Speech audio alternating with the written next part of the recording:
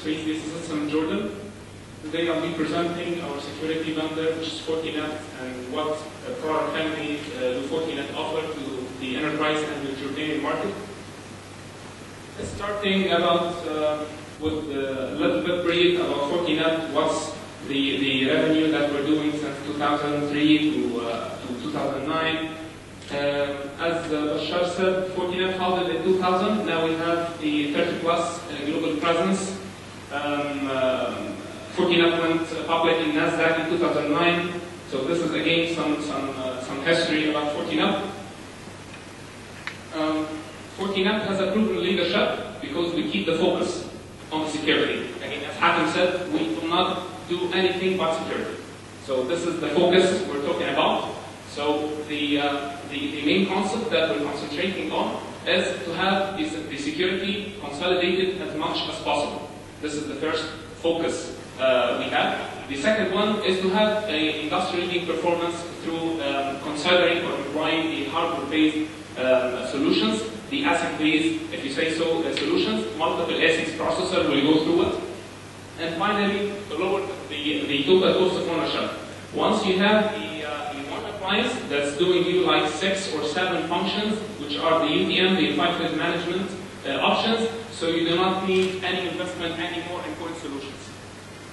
Um, okay, so going through the traditional uh, network architecture, so this is how legacy networks look like. So having a point solution, uh, say for anti-spam, antivirus, firewall, VPN, uh, web filtering, and all of these point solutions. The, the, uh, the main disadvantage here that we need a dedicated team in order to maintain like different uh, five or six vendors and to go through the, uh, let's say, the uh, interoperability and compatibility issues and all that stuff. However, with Fortinet, we have one single superhero unit that can do you all the stuff. The first debate that we will have is about the performance. So the first question will be about performance. Fortinet has unmatched um, performance in terms of firewall processing, IPS processing, um, antivirus, and IPS. So we go through again the, the performance and what performance counter do we have and what's the product series that can fit uh, any business grade starting from the SOHO level all the way up to the grade. So again, real-time integrated security intelligence, ASIC accelerated performance that's lowering the total cost of ownership and that's easy to deploy and maintain. So you, you don't need, uh, let's say, three or four uh, teams or let's say team members that's uh, that should be dedicated just to do the point solution. You need just one person or uh, another person for backup, so they can take care of the whole stuff.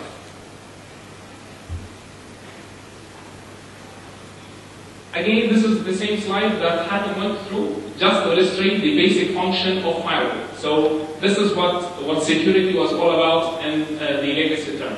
Firewall, stateful firewall to, to allow certain ports and block uh, the others VPN concentration with different flavors like IPsec and SSL.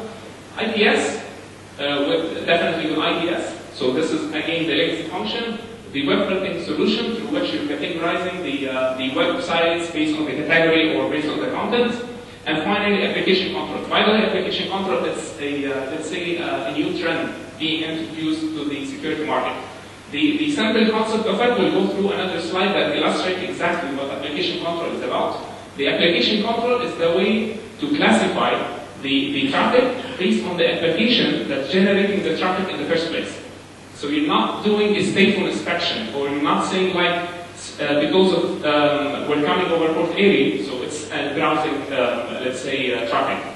So it could be like a peer-to-peer application that uh, that's trying to pass through the the uh, the, the HTTP protocol, or maybe it's like an instant messaging protocol. So again, we'll go through the the, the another example to illustrate what application the control is all about. Here we're stacking another security function that can give you a consolidated security solution.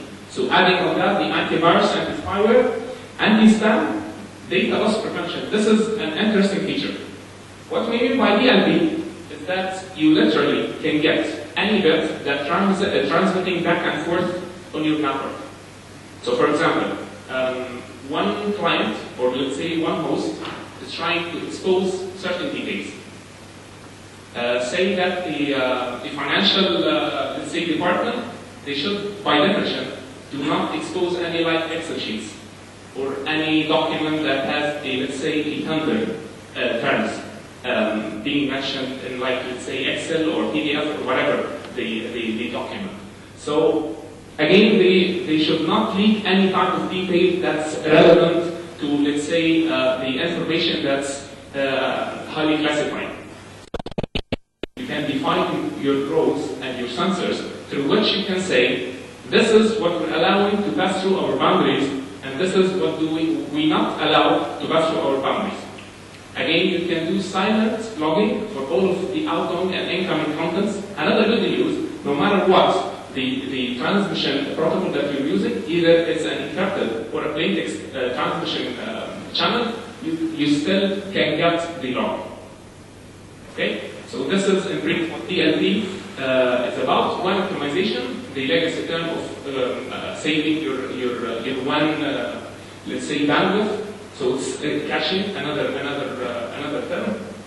Endpoint protection, the, the, the NAC, the NAC function through NAC, you can define the policy uh, through which you're saying this application is allowed to generate traffic, uh, let's say, to the WAN direction. Another example, or uh, another way how we can use NAC. You can define that um, uh, no, uh, no PC or no computer or no portable is allowed to generate any type of traffic you have, a, let's say, a peer-to-peer installation access. So what you need to do is just to uninstall the peer-to-peer application, then you can start um, accessing the network resources or accessing the, the web facilities and whatever type of uh, destination that you're doing construction on.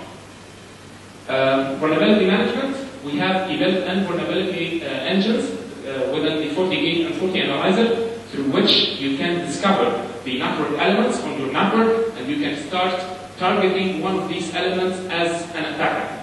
So the FortiGate or the FortiAnalyzer will tell you what vulnerability do you have on that destination and how do you mitigate it. So what, what uh, hotfix do you need to apply or what service pack and, and all of that stuff. Wireless LAN, this is a new feature introduced uh, through FortiGate. Um, what, we, uh, what all of us is looking for is to have a managed wireless solution. Um, another thing is the 10 access point deployed and being um, interconnected to a mobility controller which, uh, which handling the, the roaming facility and the signal power and uh, how you can switch from one access point carrier to another seamlessly. So with FortiNet, all what you need to do is just upgrade the firmware of your FortiGate unit. Zero licensing. We do not have any per user license. So this is another good news. So all what you need to do is just to upgrade the firmware and you have the web controller on site. So what, uh, only what you need to buy is the access points, the 10 access points. Um, now we have IPv6 supported over dynamic routing protocols like uh, Red version 3 and BGP. SSL inspection, this is the ASIC, the SSL, uh, the SSL proxy processor through which you can intercept any encrypted channel. So you decrypt, inspect, and if it complies or you're doing whatever type of, uh, let's say, conditions that you're saying within the configuration, then to re-encrypt and send back to the original destination. Basically, for, for, for guys who, uh, who know about some, some technical details, this is 100% middle-in-the-man attack simulation.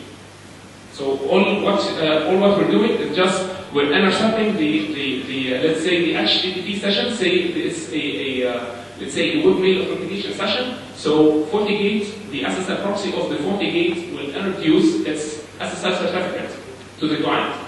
Okay, so as long as you're terminating the, the encryption tunnel, so you can decrypt it and log into the traffic as a plain text. Again, we'll go through some, some technical details just to illustrate the function.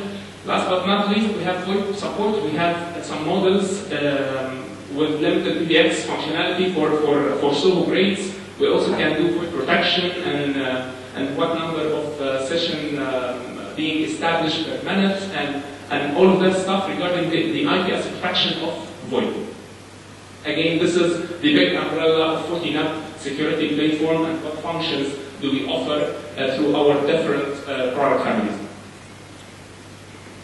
Again, we're keeping the focus and we're getting the simplest shortcut through providing an unmatched performance and a competitive price. So having all of these fancy functions housed in one box without affecting, literally without affecting the performance.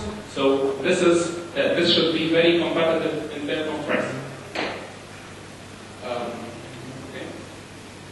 Again, this is a simple illustration about the growing number of threads that uh, uh, that we're seeing in the in the in the world since 2001 to 2009. We can see the um, most likely exponential growth of number of attacks because as long as we have new technologies and providing us with uh, let's say fancy functions, you have the risk. So we need to maintain the options and technologies, but to mitigate the risk. So this is what Fortinet is all about. Okay? Again, to do more with less. Um, again, what this slide is saying, you need to have your data center available to users. You need to provide, uh, like, um, uh, let's say, emails over phones and VoIP services and all of that stuff, but to protect the, the integrity of your system, uh, protect, um, uh, protect the, the whole uh, data center from any uh, penetration attempts or any vulnerability that you're not aware of. So our platform is responsible to tell you where is the vulnerability, how to mitigate it, and what's the best practice deployment in order to have a secure or the CIA uh, terms, if you say. Uh, okay.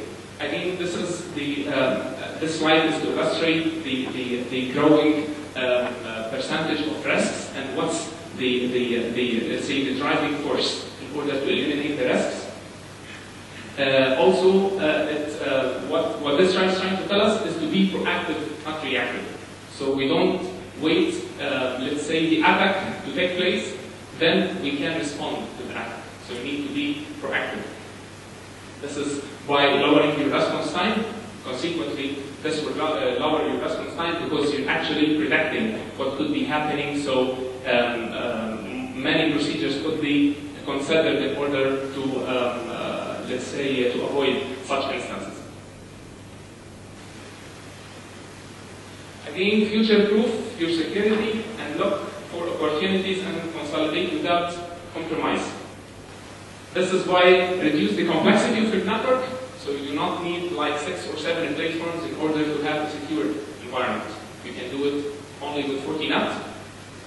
Again, to decrease risks, this is, this is biologic. Once you're decreasing the, the protection level, consequently you're uh, decreasing the, the risk level.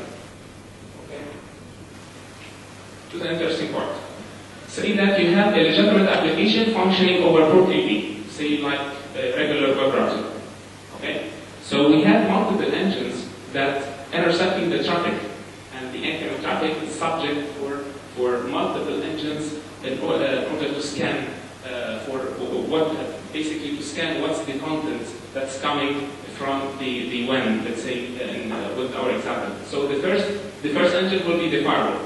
So is this a uh, let's say a legitimate port, or do we allow port 80 to uh, to, uh, to pass traffic through our network or not? So this is the first tier. The second tier is the application control.